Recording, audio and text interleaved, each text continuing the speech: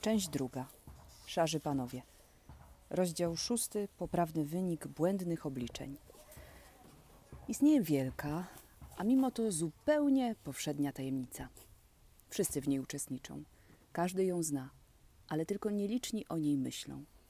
Przeważnie ludzie przyjmują ją taką, jaka jest i wcale ich ona nie dziwi. Tajemnicą tą jest czas. Są przecież kalendarze i zegary, którymi go można mierzyć. Ale to nie ma właściwie znaczenia, bo każdy wie, że komuś godzina może wydawać się wiecznością, innemu zaś przemijać jak chwila, zależnie od tego, co człowiek w ciągu tej godziny przeżywa. Gdyż czas to życie, a życie mieści się w ludzkim sercu. Nikt nie widział, nie wiedział o tym lepiej niż szarzy panowie. Nikt nie znał tak jak oni wartości godziny, minuty, a nawet sekundy życia. Co prawda, znali się oni na tym, jak pijawka zna się na krwi i postępowali stosownie do tego. Mieli własne plany dotyczące czasu ludzi. Były to daleko zmierzające i starannie opracowane plany. Najważniejsze dla nich było, aby nikt nie zauważył ich działalności.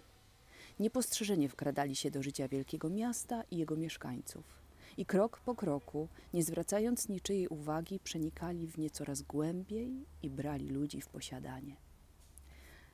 Znali każdego, co do którego mieli zamiary, na długo, zanim on sam mógłby się tego domyślić.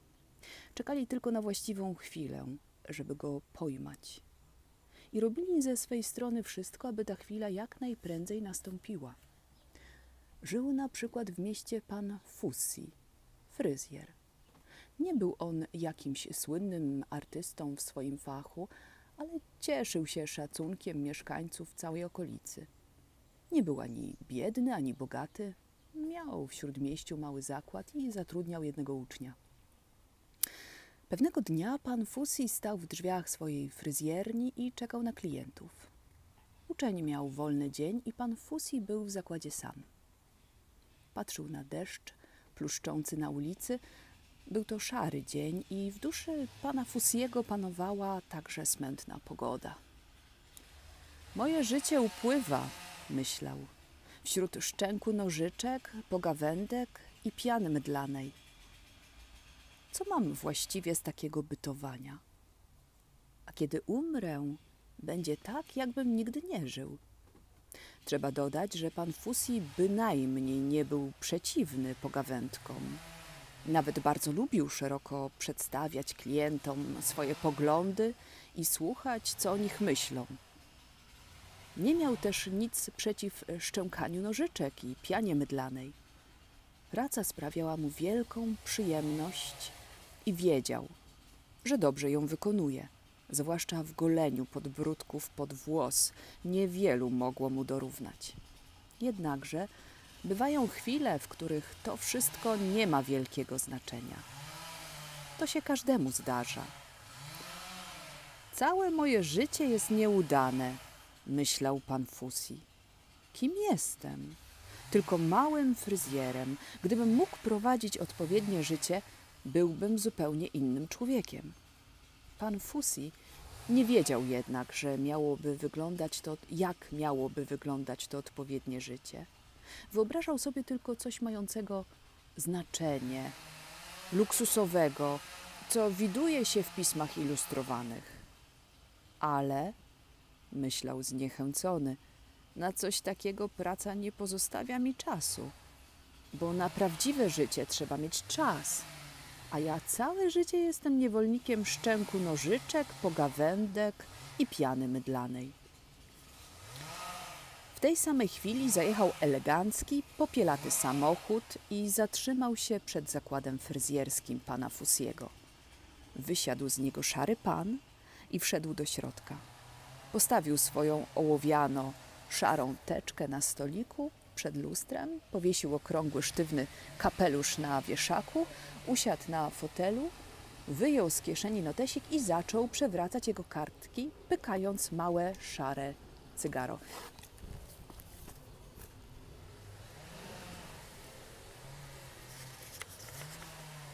Pan Fusi zamknął drzwi wejściowe, bo nagle wydało mu się, że w małym pomieszczeniu zapanował niezwykły chłód.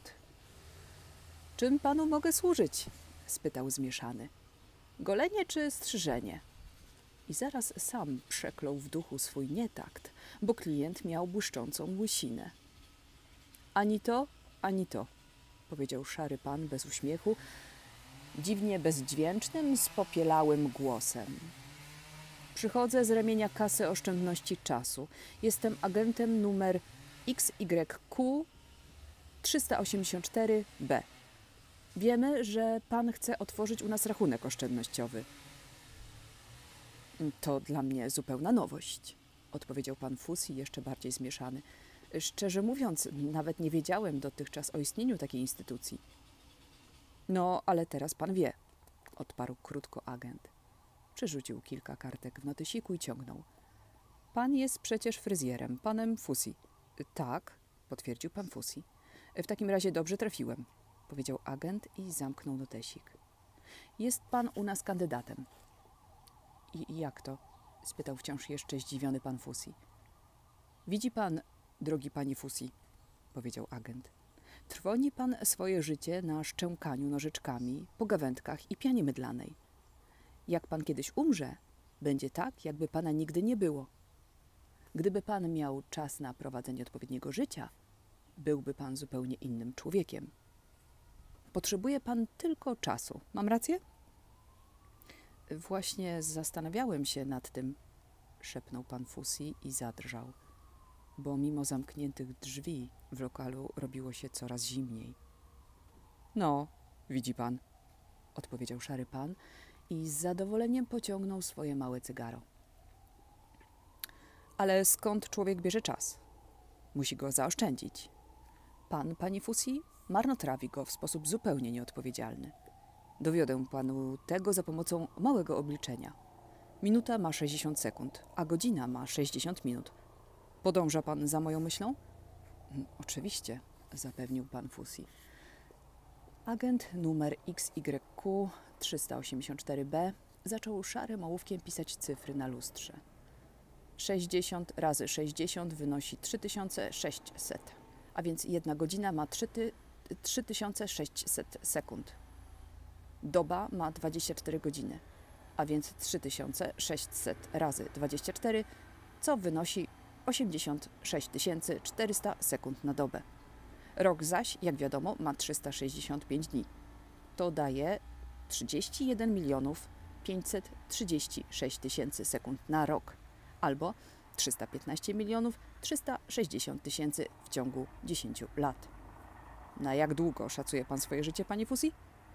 E, no cóż, wybąkał oszołomiony pan Fusi. Jeśli taka będzie wola Boga, mam nadzieję dożyć 70, może 80 lat. Dobrze, podjął szary pan. Przyjmijmy dla ostrożności tylko 70 lat. A więc byłoby to 315 milionów 360 tysięcy razy 7. Daje to 2 miliardy 207 milionów 520 tysięcy sekund. I dużymi cyframi wypisał na lustrze 2 miliardy 207 milionów 520 tysięcy sekund. Potem podkreślił cyfrę kilka razy i oświadczył. To jest, panie Fusi, majątek, majątek, jakim pan dysponuje.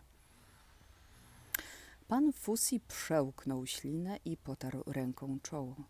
Od wieku tej, od widoku tej cyfry zakręciło mu się w głowie. Nigdy nie myślał, że jest taki bogaty. Tak, powiedział znów szary pan i pociągnął cygaro. To robi silne wrażenie, prawda? Ale teraz zobaczmy, co dalej. Ile pan ma lat, panie Fusi? Mm, czterdzieści dwa. Wyjąkał fryzjer i nagle poczuł się winny, jakby popełnił sprzeniewierzenie. Ile godzin sypia pan w nocy? Badał go dalej szary pan. Y, coś około ośmiu, wyznał pan Fusi. Agent obliczał z zawrotną szybkością, ołówek zgrzytał na lustrze, także na panu Fusim cierpła skóra. 42 lata, 8 godzin na dobę, to wynosi już 441 milionów 504 tysiące. Tę sumę musimy słusznie uznać za straconą. Ile czasu dziennie poświęca pan pracy? Mm, także mniej więcej osiem, przyznał się z pokorą pan Fusi. W takim razie musimy raz jeszcze tę sumę, e, tę samą sumę zapisać na konto strat. Ciągnął agent nieubłaganie. Pewien czas straci pan także na pożywienie się. Ile trwają w ciągu dnia wszystkie pana posiłki? "Mm, Nie wiem dokładnie, powiedział pan Fusi bojaźliwie. Może ze dwie godziny? To mi się wydaje za mało, zauważył agent. Ale jeśli przyjmiemy, że tak jest, daje to w ciągu 42 lat sumę 110 milionów 376 tysięcy. Jedźmy dalej. Wiemy, że żyje pan sam ze staruszką matką. Co dzień poświęca pan jej całą godzinę, to znaczy siedzi pan z nią i rozmawia, mimo że jest głucha i ledwo słyszy, co pan mówi. Jest to więc czas wyrzucony za okno, a więc 55 milionów 188 tysięcy. Ponadto ma pan zupełnie niepotrzebnie papuszkę, na której pielęgnowanie poświęca pan kwadrans dziennie, co oznacza w przeliczeniu 13 milionów 797 tysięcy. Ależ, wtrącił błagalnie pan Fusi, niech pan mi nie przerywa, ofuknął go agent, który rachował coraz prędzej. Ponieważ matce pana trudno jest się poruszać, musi pan, panie Fusi, wykonywać część pracy domowej. Musi pan robić zakupy, czyścić buty i zajmować się innymi uciążliwymi sprawami. Ile czasu dziennie to panu zabiera? Może godzinę, ale... A więc dalsze stracone 55 milionów 188 tysięcy. Wiemy również, że raz na tydzień chodzi pan do kina. Raz na tydzień bierze pan udział w kółku śpiew śpiewaczym. Że ma pan stały stolik w gospodzie, w której bywa pan dwa razy na tydzień. W pozostałe dni spotyka się pan wieczorem z przyjaciółmi, a czasem czyta pan nawet książkę. Krótko mówiąc, zabija pan czas różnymi bezużytecznymi zajęciami przez około 3 godziny dziennie, co wynosi 185 milionów 564 tysiące. Czy pan się źle czuje, panie Fusi? Nie, odparł fryzjer. P proszę mi wybaczyć. Zaraz skończymy, powiedział szary pan. Musimy jednak e, pomówić jeszcze o pewnym szczególnym rozdziale pańskiego życia. Ma pan pewną małą tajemnicę. Już pan wie jaką. Pan Fusi tak marzł, że aż szczękał zębami. O, o tym też pan wie? Mruknął bezradnie. Myślałem, że oprócz mnie i panny Dari w naszym nowoczesnym świecie, przerwał mu agent numer XYQ 384B, tajemnice nie mają znaczenia. Niech pan spojrzy na tę sprawę rzeczowo i realistycznie, panie Fusi. Niech pan mi odpowie na moje pytanie. Czy zamierza pan ożenić się z panną Darią? Nie, powiedział pan Fusi. To przecież niemożliwe. Słusznie, kontynuował szary pan. Bo panna Daria jest do końca życia skazana na fotel inwalidzki, gdyż ma bezwładne nogi. Mimo to chodzi pan do niej co dzień na pół godziny, aby jej ofiarować kwiatek. I po co to? Ona zawsze tak się tym cieszy, odpowiedział pan Fusi bliski łez. Ale patrząc na to trzeźwo, stwierdził agent, dla pana, panie Fusi, jest to czas stracony. A mianowicie już 27 milionów 594 tysiące sekund. A jeżeli doliczymy do tego jeszcze, że pan co wieczór przed pójściem spać siedzi kwadrans przy oknie i rozmyśla o minionym dniu, to musimy odjąć raz jeszcze sumę 13 milionów 797 tysięcy. Teraz zobaczmy, ile panu właściwie pozostało. Na lustrze figurowało następujące obliczenie. Sen 441 milionów 504 tysięcy sekund, praca 441 504 tysiące sekund, posiłki 110 milionów 376 sekund, matka 55 milionów 188 sekund, papuszka 13 milionów 797 sekund, zakupy i tak dalej 55 milionów 188 sekund, przyjaciele, śpiew i tak dalej 165 milionów 564 tysięcy sekund, tajemnica 27 milionów 594 tysiące sekund, okno 13 milionów 797 tysięcy sekund, razem mil, miliard 324 miliony 512 tysięcy sekund. Ta suma, powiedział szary pan, stukając tak mocno ołówkiem w lustro, że brzmiało to jak wystrzały rewolwerowe. Ta suma przedstawia czas, jaki pan dotąd strwonił. I co pan na to, panie Fusi? Pan Fusi nic nie odpowiedział. Usiadł na krześle w rogu pokoju i otarł chusteczką twarz, gdyż mimo panującego lodowatego zimna pot mu wystąpił na czoło. Szary pan poważnie kiwnął głową. Tak, powiedział. Zupełnie słusznie pan zrozumiał, że jest to już przeszło połowa pańskiego pierwotnego majątku. Ale teraz zobaczmy, co panu właściwie pozostało z pańskich 42 lat. Jeden rok to, jak panu wiadomo, 31 mili- milionów 536 tysięcy sekund. A pomnożone przez 42 daje miliard 324 miliony 512 tysięcy. I napisał tę cyfrę pod sumą strawionego czasu.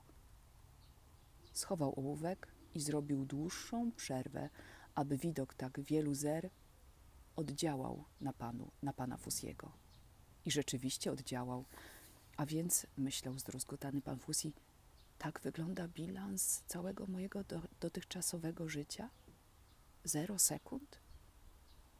Obliczenie, które przyniosło tak dokładny rezultat, wywarło na panu Fusim wielkie wrażenie, to też przyjął je bez najmniejszego sprzeciwu. I rzeczywiście sam rachunek się zgadzał. Był to jeden z wielu kruczków, którymi posługiwali się szarzy panowie, aby oszukiwać ludzi przy tysiącach okazji. Czy pan nie uważa?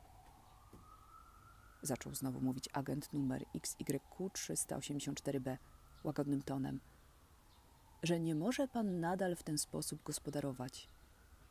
Czy nie wolałby pan raczej zacząć oszczędzać? Pan Fussi skinął głową wargi i miał sinę z zimna. Gdyby pan na przykład szemrał spopielały głos agenta tuż przy uchu pana Fusiego, już dwadzieścia lat temu zaczął oszczędzać tylko jedną godzinę dziennie. Miałby pan teraz zapisane na swoje dobro 26 milionów 280 tysięcy sekund. Przy dwóch zaoszczędzonych dziennie godzinach wynosiłoby to oczywiście dwa razy tyle, a więc 52 miliony 560 tysięcy. No, a niech pan sam powie, co znaczą dwie marne godzinki wobec takiej sumy. Nic, zawołał pan Fusi. To po prostu śmieszna błahostka. Cieszę się, że pan to rozumie, ciągnął obojętnie agent. A jeśli jeszcze obliczymy, co by pan w tych samych warunkach oszczędził w ciągu następnych dwudziestu lat, to uzyskalibyśmy niebagatelną sumę 105 milionów 120 tysięcy sekund. Cały ten kapitał miałby pan do rozporządzenia w wieku 62 lat. Wspaniale, wyjąkał pan Fusi i aż otworzył szeroko oczy. Niech pan zaczeka, ciągnął szary pan. Dowie się pan czegoś lepszego. My, to znaczy Kasa Oszczędności Czasu, nie tylko przechowujemy dla pana zaoszczędzony czas, ale w dodatku płacimy odsetki od niego, czyli że w rzeczywistości miałby pan go jeszcze dużo więcej. O ile więcej? spytał pan Fusi bez tchu. No, to byłoby wyłącznie pańską sprawą, wyjaśnił agent.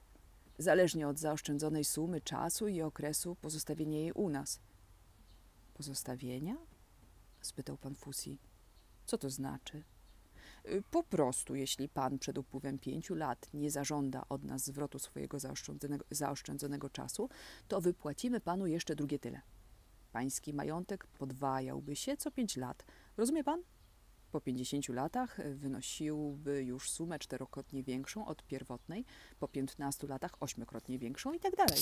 Gdyby pan y, 20 lat temu zaczął oszczędzać dziennie tylko dwie godziny, to w wieku 62 lat, a więc po 40 latach, byłoby to 250, 256 wielokrotność oszczędzonego przez pana czasu. Wynosiłoby to 26 miliardów 910 milionów 720 tysięcy. Szary pan znowu wyjął szary ołówek i wypisał również tę cyfrę na lustrze. Widzi pan, panie Fusi? I po raz pierwszy szary pan uśmiechnął się nikle. Byłoby to przeszło dziesięciokrotnie więcej niż całe pańskie pierwotne życie. I to tylko przy dwóch godzinach dziennie oszczędzonych u nas. Niech pan się zastanowi, czy nie jest to korzystna propozycja z naszej strony? Jest korzystna, powiedział pan Fusi wyczerpany. Niewątpliwie jest. Prawdziwy nieszczęśnik ze mnie, że nie zacząłem oszczędzać już od dawna. Dopiero teraz zrozumiałem to w pełni i muszę przyznać, że jestem zrozpaczony. Do rozpaczy, zapewnił go szary pan łagodnie, naprawdę nie ma pan powodu. Nigdy nie jest za późno. Może pan zacząć już od dzisiaj, jeśli pan tylko zechce. Zobaczy pan, że to się opłaci. Jeszcze jak chcę, wykrzyknął pan Fusi. Co mam robić? Ależ, mój drogi, odpowiedział agent, podnosząc brwi ze zdziwieniem. Chyba pan sam wie, jak oszczędza się czas. Musi pan na przykład prędzej pracować i zaniechać wszystkich zbędnych czynności. Zamiast pół godziny będzie pan poświęcał klientowi tylko kwadrans. Będzie pan unikał pochłaniających czas pogawędek. Skróci pan czas poświęcony swojej sędziwej matce do połowy. Najlepiej niech pan ją w ogóle odda do dobrego, niedrogiego domu starców, gdzie będzie miała opiekę. Wtedy zyska pan już całą godzinę dziennie. Niech pan się pozbędzie tej bezużytecznej papuszki. Odwiedza pannę Darię tylko raz na dwa tygodnie, jeśli to jest w ogóle konieczne. Niech pan skreśli ów kwadrans zastanawiania się nad minionym dniem, a przede wszystkim niech pan nie trwoni swego cennego czasu tak często na śpiew, czytanie, albo tym bardziej na przebywanie ze swoimi tak zwanymi przyjaciółmi. Przy okazji zaleciłbym panu zawiesić w zakładzie duży, dobrze chodzący zegar, aby pan mógł dokładnie kontrolować pracę swoich uczniów. No, y, dobrze, powiedział pan Fusi. Mogę to wszystko zrobić, ale jak mam zużyć czas, który dzięki temu pozostanie? Czy mam go oddawać? Gdzie? Czy też mam go przechowywać? W jaki sposób załatwia się tę sprawę? Y, tym, odrzekł szary pan, po raz drugi uśmiechając się nikle, niech pan się nie martwi. Niech pan to spokojnie nam pozostawi. Może pan być pewny, że nie stracimy ani odrobiny zaoszczędzonego przez pana czasu. Sam pan zauważy, że nic z niego panu nie zostanie. A więc dobrze, rzekł pan Fusi już zupełnie zbity z tropu. Zdaję się na was. Niech pan będzie spokojny, mój drogi, powiedział agent, wstając. Mogę więc niniejszym powitać pana jako nowego członka wielkiej gminy oszczędzających czas. Odtąd i pan, panie Fusi, jest prawdziwie nowoczesnym, postępowym człowiekiem. Gratuluję panu. Po czym wziął swój kapelusz i teczkę. E, jeszcze chwilę, zawołał pan Fusi. Czy nie powinniśmy zawrzeć jakieś umowy? Nie muszę nic podpisać, nie otrzymam jakiegoś dokumentu? Agent numer XYQ 384B odwrócił się w drzwiach i z lekką niechęcią zmierzył wzrokiem pana Fusiego. Po co? powiedział. Oszczędzania czasu nie można porównywać z jakimkolwiek innym sposobem oszczędzania. To kwestia całkowitego zaufania z obu stron. Wystarcza nam pańska zgoda. Jest ona nieodwołalna, a już my będziemy zajmowali się pańskimi oszczędnościami. Jednakże tylko od pana zależy, ile pan zaoszczędzi. Do niczego pana nie zmuszamy. Żegnam pana. To powiedziawszy, agent wsiadł do swojego eleganckiego, szarego samochodu i odjechał. Pan Fusi patrzył za nim, pocierając czoło. Powoli zaczynało mu się... Powoli zaczynało mu być znowu ciepło, ale czuł się chory i nieszczęśliwy. Gęste kłęby niebieskiego dymu z małego cygara agenta długo jeszcze unosiły się we fryzjerni i nie chciały ustąpić. Dopiero kiedy dym się rozwiał, pan Fusi poczuł się lepiej – ale wraz z rozpierzchnięciem się dymu zbladły cyfry wypisane na lustrze, a kiedy zupełnie znikły, zatarło się także w pamięci pana Fusiego wspomnienie szarego gościa, ale nie powziętej decyzji. Uważał ją za własną. Postanowienie, że teraz zacznie oszczędzać czas, aby kiedyś w przyszłości móc zacząć inne życie, wbiło się w jego duszę jak kolec zakończony haczykiem. A potem wszedł do zakładu pierwszy klient w tym dniu. Pan Fusi obsługiwał go mrukliwie, robił tylko to, co konieczne, milczał i rzeczywiście zamiast w pół godziny był gotów w dwadzieścia minut. I zupełnie tak samo było z innymi klientami. W tych warunkach praca nie sprawiała panu Fusiemu najmniejszej przyjemności. Ale to nie było już dla niego ważne. Oprócz dawnego ucznia zatrudniał teraz dodatkowo dwóch pomocników i zwracał baczną uwagę aby nie marnotrawili ani sekundy. Każdy ruch ręki był ustalony według dokładnego planu. We fryzjerni pana Fusiego wisiała teraz tablica z napisem Oszczędzony czas jest dwa razy więcej wart. Do panny, do panny Darii napisał pan Fusi krótki, rzeczowy list, zawiadamiając ją, że z powodu braku czasu niestety nie może nadal do niej przychodzić.